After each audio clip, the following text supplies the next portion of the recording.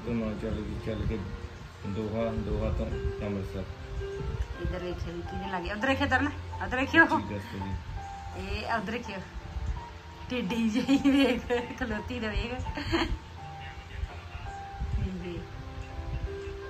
ਅੱਜ ਮੈਨੂੰ ਮੰਮੀ ਵੀ ਕਹਿੰਦੇ ਕਹਿੰਦੇ ਸੇਮ ਤੇਰੇ ਵਾਲੀਆਂ ਹਰਕਤਾਂ ਇਹਦੀਆਂ ਵੀ। ਗੁਰਮੇਰ ਦੀਆਂ ਨਿੱਕੀ ਹੁੰਦੀਆਂ ਤੇ ਜਿੱਦਾਂ ਤੂੰ ਜਿੱਦ ਕਰਦੀ ਹੁੰਦੀ ਆ ਉਦਾਂ ਹੀ ਇਹ ਜਿੱਦ ਕਰਦੀ ਆ।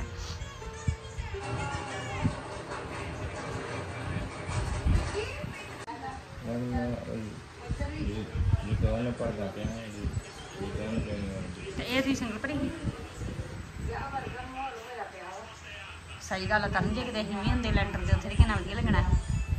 ਹਾਏ, ਸਾਰਾ ਕੁਝ ਮਿਸ ਹੋ ਗਿਆ, ਸਭ ਕੁਝ ਹੀ।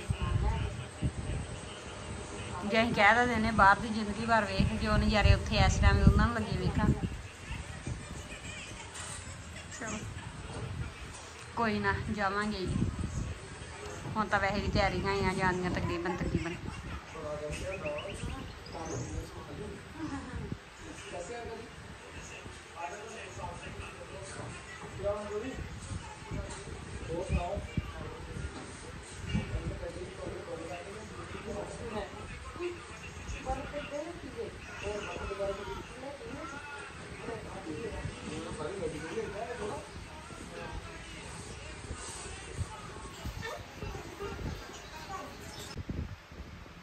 ਇੱਧਰ ਗੁਰਸ਼ਾਨ ਸੁੱਤਾ ਤੇ ਗੁਰਸਾਹਿਬ ਉਹਦੇ ਨਾਲ ਵਾਲ ਪੱਟਦਾ ਪਿਆ।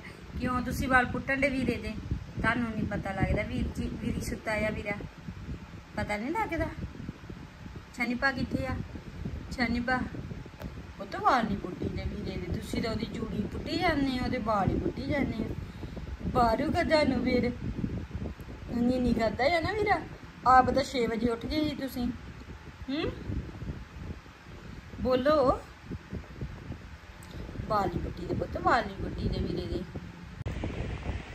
ਅੱਜ ਜਦ ਤਰਨ ਨੇ ਜਾਣਾ ਹੀ ਕੰਮ ਤੇ, ਸਵੇਰੇ ਪੌਣੇ ਛੇ ਤਰਨ ਉੱਠੇ, ਇਹ ਉਦੋਂ ਲਈ ਉੱਠ ਕੇ ਬੈਠਾ ਹੈ ਮੁੰਡਾ।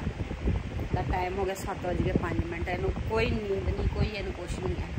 ਜਦ ਤਰਨ ਵੀ ਕੰਮ ਤੇ ਜਾਂਦਾ ਸੀ ਬਸ ਉਧਰ ਹੀ ਵੇਖੀ ਜਾਂਦਾ ਘੁੰਮ ਘੁੰਮ ਕੇ ਵੀ ਹਾਂ ਵੀ ਉਹ ਕੀ ਕਰਦੇ ਆ, ਕਿੱਧਰੋਂ ਆਵਾਜ਼ ਆਉਂਦੀ ਹੈ। ਹਾਂਜੀ ਹੁਣ ਆਂਦਾ ਮੇਰੇ ਨਾਲ ਗੱਲਾਂ ਕਰੋ। ਦੱਸੋ, ਤੁਸੀਂ ਵਾਲ ਪੁੱਟੇ ਨਾ ਵੀਰੇ ਦੇ? Thank you.